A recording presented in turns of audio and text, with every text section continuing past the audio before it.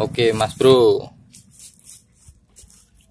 Ini saya mau mengakali Karena ini apa? Mintasi ya mas bro ya KW Jadi saya mengakali Supaya si komstir ini lebih awet. Ya. Lebih awet Terus Ya pokoknya intinya eh, Murah Tapi awet. Ya gitu mas bro ya. Iya murah tapi awet. Nah itu gimana caranya? Kan kayak gitu. Kalau imitasi biasanya kalau imitasi kan seperti ini ya mas bro ya? Ada yang seperti ini toh? Ada apa ini ya? Ini tempatnya ini loh. Tempatnya ini. Jadi kalau menurut saya sih logika saya kalau si pelornya ini semakin banyak jadi tekanan tekanan si pelor ini kepada ininya tempatnya ini ya itu eh, lebih banyak. Jadi karena kawannya dia itu lebih banyak jadi lebih awet. Kayak gitu tumpuannya itu kan semakin banyak yang menahan jadi lebih awet kayak gitu ya mas bro ya. Seperti itu. Itu kalau menurut saya. Cuma kalau menurut teman-teman eh, ada yang lain ya monggo silahkan tulis di kolom komentar gimana yang lebih awet.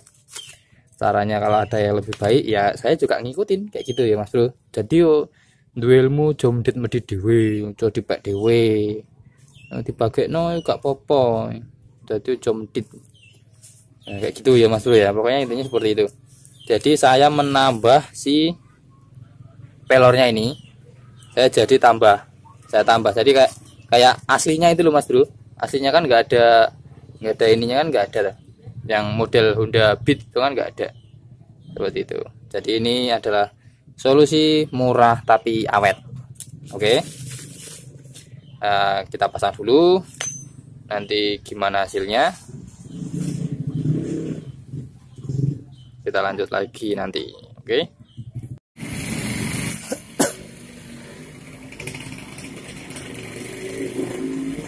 Oke Mas Bro untuk pemasangan ini. Jadi ini apa?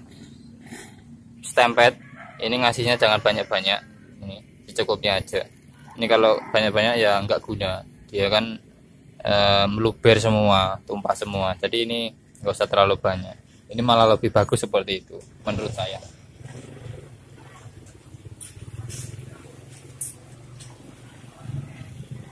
Uh, untuk proses pemasangan yang pelornya ini pretelan ya mas bro ya? Terpisah seperti ini masangnya ini nanti saja. Kalau dipasang dipasang dulu nanti ketika itu si kupu-kupu kupu-kupunya tadi dimasukin sini nanti ini ikut ke atas si pelornya ini nanti biasanya itu ada yang lepas ikut ke sini. Jadi ini masanya nanti aja. Fungsinya seperti itu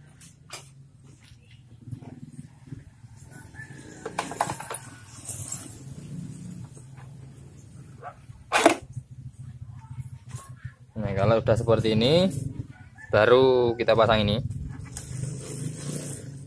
Nah jadi untuk asid antisipasi biar nggak gerak sih si pelornya itu tadi. Jadi kalau gerakan biasanya uh, yang sering tuh bisa lepas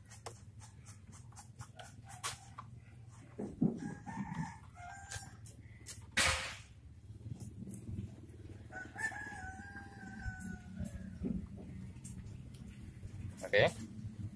Ya posisinya seperti itu.